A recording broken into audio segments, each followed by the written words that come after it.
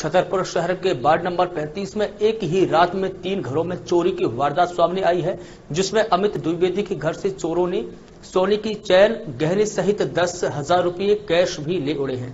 तो वहीं विनोद सिंह जादौन के घर से भी सोने, चांदी के गहने सहित पंद्रह हज़ार रुपये कैश लेकर फरार हो चुके हैं और कमलेश राजपूत के यहाँ से पचास हज़ार रुपये नकदी चोरों ने उड़ा लिए हैं। पुलिस ने मौके पर पहुंचकर घटना स्थल का मुआयना किया है।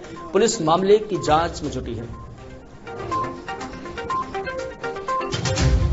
दशहरे में जो है गाँव गए थे हम लोग। और आज सुबह हम निकले वहाँ से। निकले तो रास्ते में थे जब यहाँ से मोहल्ले वालों का फ़ोन आया कि आपके घर के ताले टूटे हुए हैं।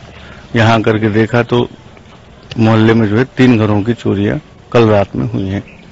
और काफ़ी सामान ले गए हैं वो लोग। काफ़ी नुकसान भी किया है घर में। और तीनों घरों में कलर टीवियाँ ले गए हैं। ये थोड़ी देर पहले जस्ट अभी बगौता से इन्फॉर्मेशन मिली थी, जो थाना सिविल लाइन अंतर्गत आता है, कि दो तीन घरों में ताले टूटे हैं। तो फोर्स वगैरह वहाँ पहुँच गया है, और उसमें जाँच करके एफआईआर की जाएगी, अभी एफआईआर करेंगे। और तभी हमें ज्ञात हो पाएगा कितना मसूखा गया है, कितना बजे डिटेल